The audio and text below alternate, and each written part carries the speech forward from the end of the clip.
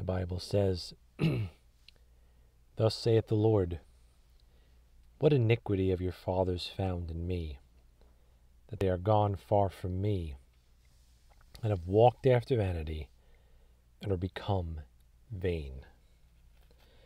This is arguably one of the saddest verses in the Bible, where God Almighty looks at his nation Israel and asks, essentially, What did I ever do wrong?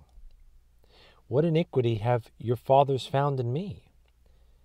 God remembers how much Israel loved him, how much Israel pursued him like a lover pursuing that new love, that first love.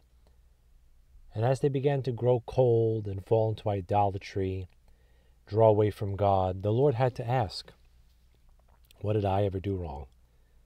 What iniquity have your fathers found in me, that they are gone far from me, and have walked after vanity, and are become vain? Do you, child of God, remember how fascinated you were with the Lord? How much in love you were with Jesus Christ? How earnestly you pursued the Savior when you first met your beloved, when you first experienced forgiveness, when you first received the gift of God, which is eternal life through Jesus Christ, O Lord. Do you still have that zeal? Are you still in hot pursuit of your beloved? Do the things of God still fascinate you? Do you still make time and prioritize so that you could spend time with the saints and your Savior around His Word? What happened? And if something did happen, what did God ever do to you to make you slow down, to make you draw back, to make you pursue something or someone else?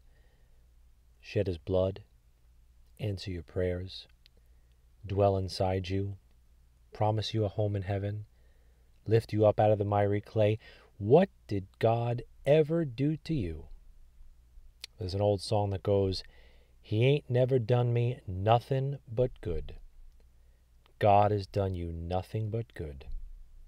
And it's only right that you draw nigh today because the Lord is worthy. He hasn't changed. He hasn't moved. I am the Lord, I change not, he said. What's happened to you? Why have you drawn back? And what did God ever do to you to make you draw away from Him?